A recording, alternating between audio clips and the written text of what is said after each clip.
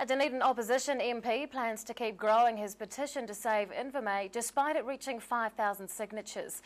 The petition was launched by Dunedin North Labour MP Dr David Clark in February. That followed an AgResearch decision to shift its animal genetics teams of about 80 scientists and other staff from Invermay to a new hub in Lincoln. The shift would leave only about 30 staff and has been vociferously opposed by individuals and organisations across the south. Dr Clark says he plans to take the petition to Parliament but has yet to make a decision on when. He says the petition keeps growing and he wants to keep the issue rolling.